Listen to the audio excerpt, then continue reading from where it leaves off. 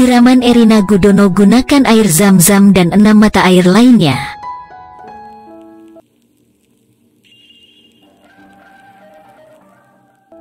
Erina Gudono melakukan prosesi siraman sebelum menikah dengan Kaesang Pangarep. Acara siraman ini dilakukan di kediaman Erina di Yogyakarta pada Jumat tanggal 9 Desember tahun 2022. Air yang digunakan untuk prosesi siraman Erina Gudono diambil dari tujuh sumber, termasuk dari kediaman Presiden Jokowi di Solo dan kediaman Erina. Air siraman juga diambil dari Masjid Raya Sei Zayed Surakarta, air zam-zam, Keraton Kilen, Pakualaman, dan Puro Mangkunegaran. Erina pun dimandikan oleh satu persatu anggota keluarga, mulai dari ibunda hingga kakak-kakaknya.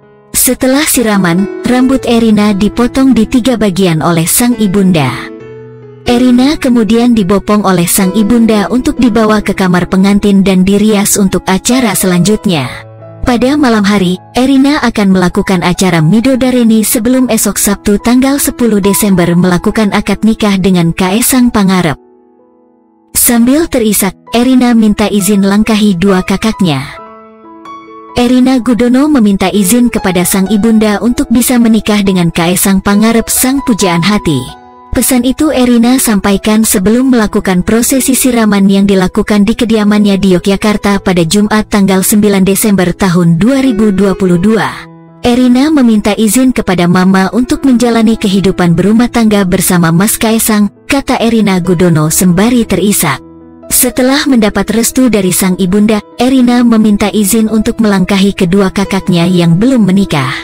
Mas Allen dan Mbak Nadia, Erina mohon maaf karena mendapatkan jodoh terlebih dahulu, katanya.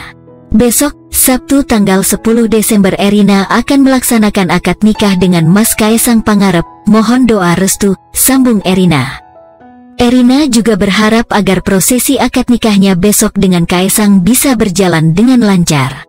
Semoga akad nikah berjalan lancar seperti harapan kita bersama, tambah Erina.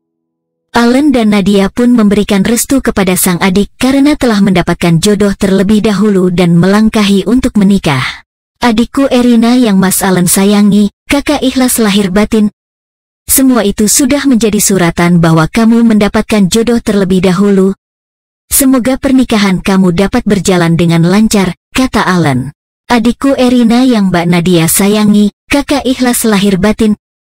Semua itu sudah menjadi suratan bahwa kamu mendapatkan jodoh terlebih dahulu. Semoga pernikahan kamu dapat berjalan dengan lancar, tambah Nadia.